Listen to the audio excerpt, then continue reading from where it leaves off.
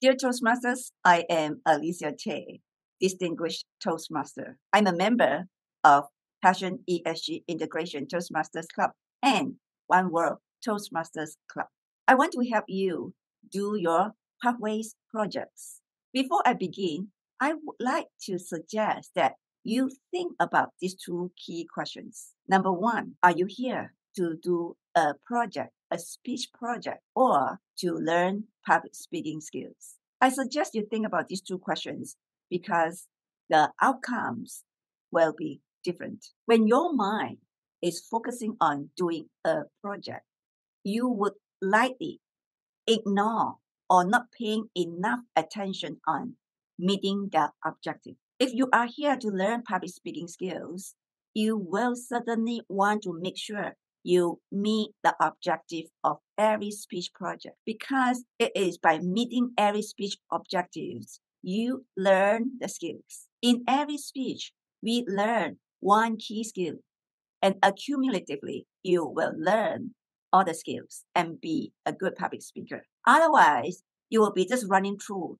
one by one, one speech by one speech, and not truly learning the skills. How do you know? You can check it out at the end of every speech or every three, six months, one year. You do a review. Be honest to yourself. Ask yourself if you have improved, if you have made good progress.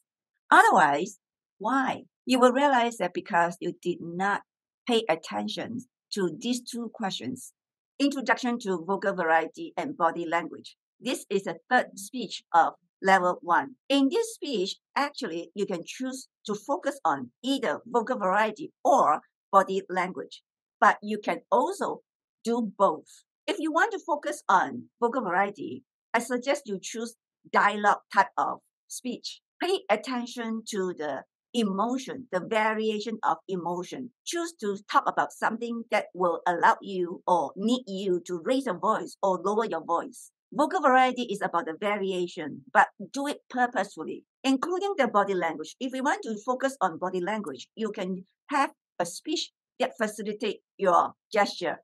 For example, somebody will do a yoga demonstration. Whatever you do, vocal variety or body gesture, remember it must be purposeful. And don't forget your facial expression, your eye contact. Look at the pinhole. The audience is in the pinhole. Now I want to demonstrate to you the eye contact. If you look at the pinhole and if you don't look at the pinhole, don't think people don't know that you are looking at the screen or you are reading from the screen. It is very obvious.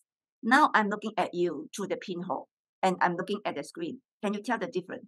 if I just read from the screen and my eye and everything, it will be different. Don't think people cannot tell just because it's so convenient that you have a screen in front of you.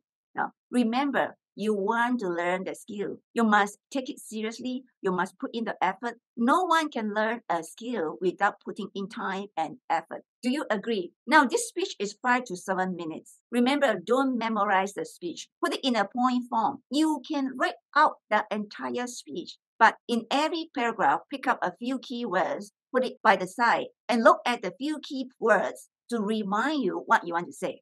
And you have to practice it. It practice is the only way you can really be good. The all the biggest secrets of public speaking is practice, practice, practice. When you practice, time yourself. Therefore, when you have exceeded time or you cannot reach to the minimum time, the only reason is you did not practice enough. Prepare your speech one week before the delivery. Every day, practice it in your mind when you eat. Practice it when you're taking shower or you are driving or you are in the LRT, MRT you can make use of any time when you are not working, not doing something, right? Again, pay attention to the speech structure, opening, body, and conclusion. The opening always tell people what is this speech all about. Your message, your purpose. Remember, we want to learn the speech and then accumulate it. Don't put it aside. The second time, the first speech icebreaker, you learn to speak from your heart. The second speech, you learn to write a speech with purpose. Now you learn to add on your vocal variety, your body language. Okay, let's run it through again. The opening is about what your purpose is. Then the body is about elaborating your point, give the supporting point, tell the story.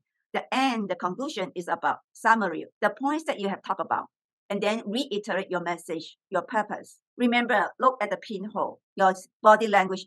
If you have time, I encourage you to read through the entire manual. There are a lot more things to read. This video is to prepare you when you don't have time to read, or if you have read it, you don't really get the point and understand. Then you can watch this video. It give you a very direct guidance. Most importantly is enjoy your speech. Speak from your heart. Enjoy your speech.